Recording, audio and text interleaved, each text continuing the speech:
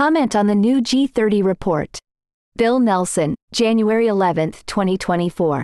The Group of 30 released a new report on Tuesday Bank Failures and Contagion, Lender of Last Resort, Liquidity, and Risk Management. The report is available here. The Group of 30 is an organization of past and present leaders of central banks and other financial agencies around the world. The working group that wrote the report was chaired by Bill Dudley. Stijn Claessens was the project director and Darrell Duffie and Trish Mosser were project advisors. The report consists of an analysis of the spring 2023 failure of Silicon Valley Bank, Signature Bank, First Republic Bank, and Credit Suisse and a series of related policy recommendations. The key recommendation of the report is that all banks maintain collateral at the discount window plus reserve balances equal to uninsured deposits and short term borrowing, and, in support, that the Federal Reserve improve the efficiency of its collateral management operations. We commend the G30 and authors for a thoughtful report and support many, though not all, of its policy recommendations.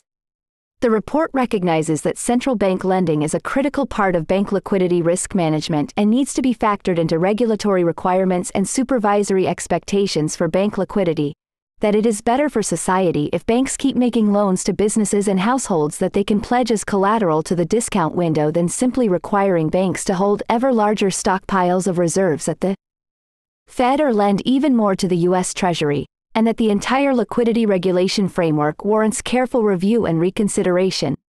At the same time, the report emphasizes that banks bear primary responsibility for their liquidity risk management and should not be protected from poor decisions.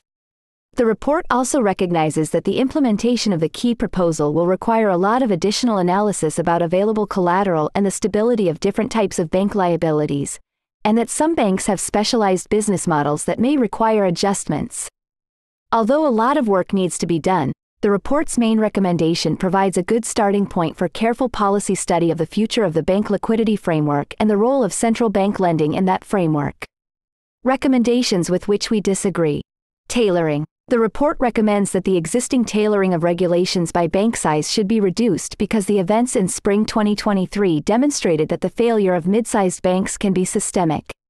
While we agree that the failures of the certain mid-sized banks had systemic consequences requiring a strong government response, those consequences were a function of circumstances, not those banks' size, interconnectedness, or role in the economy. In particular, SVB and Signature failed largely because they were unprepared to access the discount window for emergency funding, and similarly situated banks were also perceived as insufficiently prepared and thus at risk of run. Consequently, if the report's recommendation on discount window preparedness is adopted, mid-sized banks would not pose the types of systemic risks that arose when SVB and Signature failed.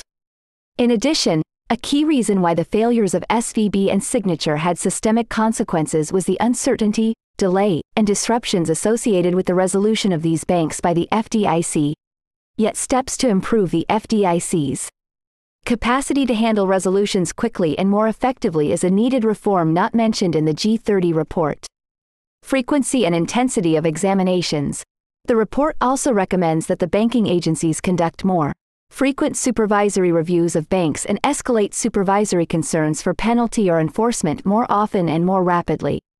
But as we have described at length elsewhere, the supervisory problems that contributed to the banking turmoil of spring 2023 was not too infrequent examination or too patient supervisory, but rather a misguided supervisory approach that was principally directed at issues that had little to do core safety and soundness concerns, a consistent focus on process over substance, a failure to apply rules already on the books, and a reliance on supervisory ratings that depended on subjective judgments and not objective data. 1. The report thus misses the mark on needed supervisory reforms, rather than supervisors being ever more aggressive. They should be more focused on issues that actually present a risk to the bank. There are a few areas where the report may have left the reader with the wrong impression. 1. The report states that the accounting treatment of held to maturity securities is inconsistent with regulatory treatment of those securities, which count as high quality liquid assets that may be used to satisfy liquidity requirements. HTM securities are recorded on banks' books at amortized cost rather than market value. It would of course be inappropriate for HTM securities to be included in HQLA at amortized cost, but they are not, rather, they are included in HQLA at market value. Moreover, the accounting rules governing HTM securities permit them to be pledged as collateral in repo funding markets, pledged to the discount window, or pledged as collateral at the Fed's standing repo facility, therefore making them legitimate and reliable sources of liquidity. 2. When proposing that more resources should be devoted to supervision, the report references the fiscal costs of bank failures. There were no fiscal costs, no cost to U.S. taxpayers whatsoever, from the bank failures in spring 2023. All costs incurred by the FDIC in resolving SVB and Signature, including payments to insured and insured depositors, were and will continue to be paid for by the banking industry alone in the form of deposit insurance fund assessments. 3. When arguing that the LCR's 30 day outflow assumptions on deposits should be increased in light of the rapid outflows observed this spring, the report states that the current outflow assumption for non-operational corporate deposits is 40%. However, that is the assumption for non-financial corporations. For such deposits for financial firms, such as SVB's deposits from venture capital funds, the LCR's outflow assumption is 100%. These types of deposits are frequently a significant portion of overall non-operational corporate deposits. For example, the 2023 Q3 LCR disclosure of a large bank that also works primarily with financial institutions reports assumed outflows under the LCR for non-operational wholesale deposits in the aggregate equal to 96%. While regulatory calibrations should always be reviewed in light of new experience, the LCR's current deposit outflow assumptions are much more conservative than the report suggests. 4. The authors note that if their recommendations are adopted, the LCR will become largely irrelevant in stress times, but that the LCR and the related HQLA requirements remain relevant for banks' liquidity management in normal times. 2. But the LCR is a stress metric that is, it is expressly designed to reflect liquidity needs and resources of banks under an acute period of liquidity stress, and thus not at all appropriate as a guide for liquidity management in normal times. As one example, the LCR assumes the bank can get no liquidity from other banks in the interbank market nor even withdraw cash it has on deposit at another bank, ignoring the usual central role of the interbank market under normal liquidity conditions. 5. The report strongly supports reducing the severe stigma associated with borrowing from the discount window. However, it states that banks should use the discount window only during periods of stress, and not in normal times, and that the pricing of discount window loans be made more attractive. This may not be a successful strategy for reducing stigma. Prior to 2003, the U.S. discount rate was at or below market rates, and banks were told they could use it when it was appropriate to do so, but not too much. This was substantially changes in 2003, when the Federal Reserve raised the rate so that its rules on use could be eliminated.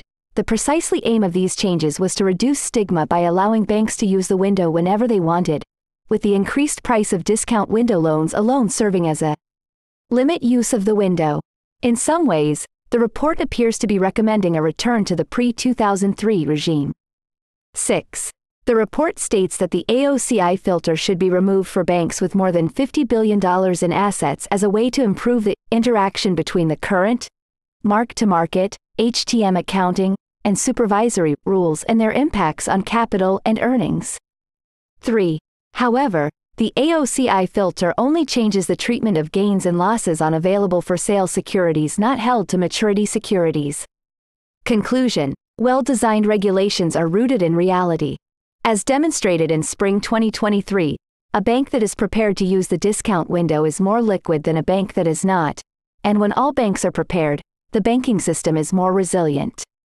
We support what appears to be the core message of the G30 report that regulatory and supervisory assessments of individual banks' liquidity should recognize the important role played in stress times by the lender of last resort as a source of funding.